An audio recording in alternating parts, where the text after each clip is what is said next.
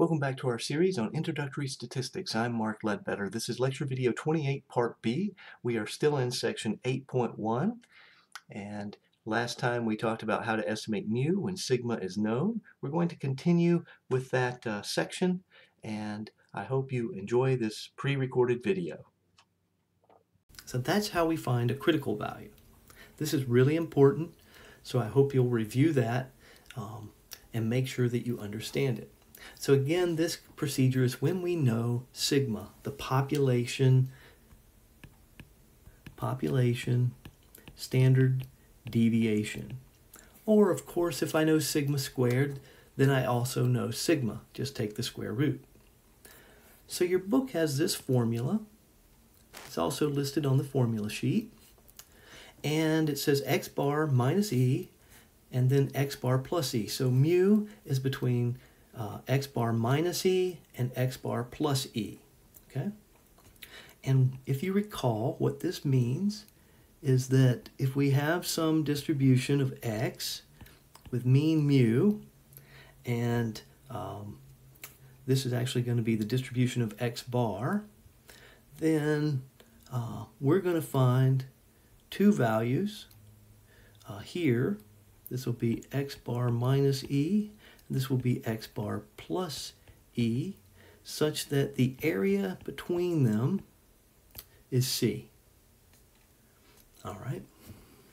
That's what we want to know. And the values we are looking for are these two values.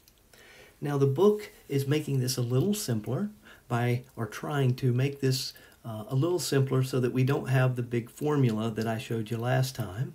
And so they've said E. E is the estimate of our margin of error, and it is the critical value z sub c times sigma divided by the square root of n. Now here's a real important, easy way to know which formula to use for a confidence interval for the mean. If we have sigma somewhere in the problem, then we use the formula of E that has sigma in it. If we have S uh, in which is the sample standard deviation in the problem, then we have to use a different formula. We have to use the formula that has S in it. So we have sigma, so we're going to use this formula for sigma. And um, you can read these two expressions here are exactly the same. It's whichever you want to do, but it's z sub c times sigma divided by square root of n, or you can say z sub c times sigma divided by the square root of n. It gives you the same number, whichever way you look at it. Last time, I gave you the whole formula like this. If you want to use it the confidence interval like this instead of using E, you just want to plug it in directly, you can do that. It's just fine.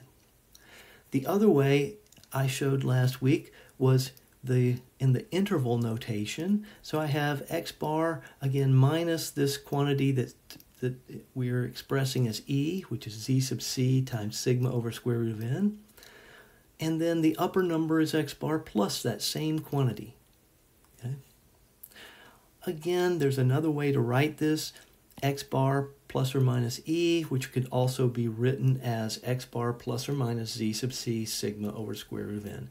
These are all equivalent. Okay. They're all correct. They're all equivalent. It's just different ways of writing it.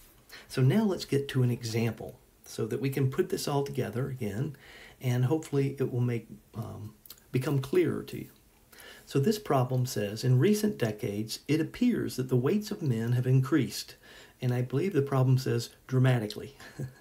so we need to update our mean estimate for men's weight so that boats and elevators and aircraft do not become dangerously overloaded. If you've ever been on an elevator, it will say maximum capacity. That is based on the weights, the mean weight or average weight of men. Uh, on average, men weigh more than women. So we, again, that's on average. So we use the most severe estimate of weight for a person, and that's the average man's weight. Okay? All right. And that's for safety reason. So um, we take a simple random sample so that requirement's met. Of size n, this means when it says size n or how many, this is n is equal to 40. If we don't come out and say n is equal to 40, this is how you figure it out.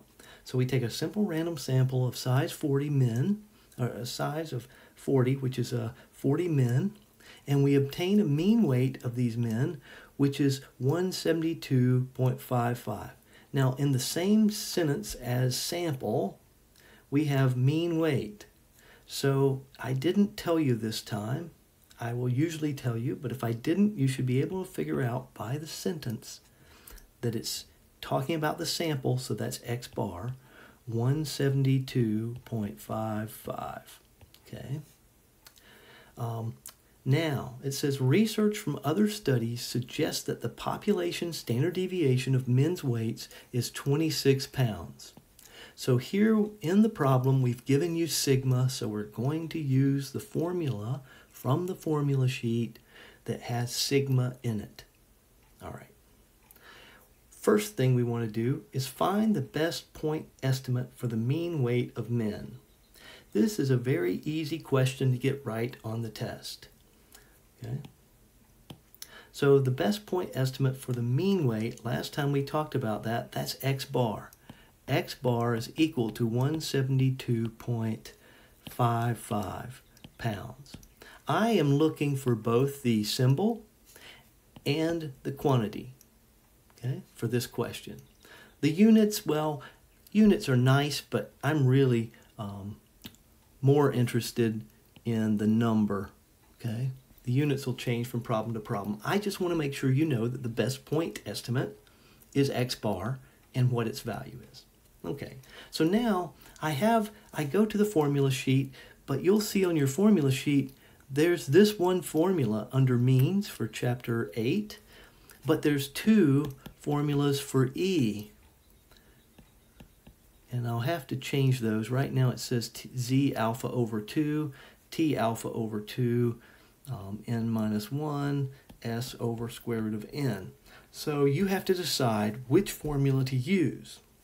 Since we have sigma in our question, we're going to use the formula. We're not going to use this formula. I'll rewrite that.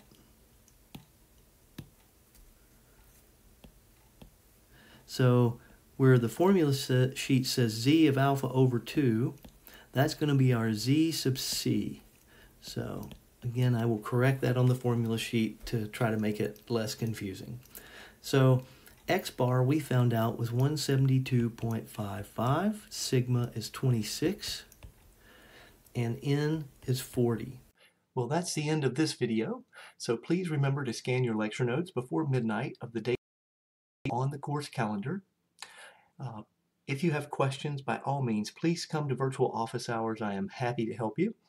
And if you can't do that, then, then by all means email me. But when you email me, please email me a picture of both the problem, because I may not have access to that problem wherever I am, and a picture of your work, which allows me to know uh, how you're approaching the problem and help you best and the quickest. So um, I'm looking forward to seeing you next time. Until then, stay safe and take care.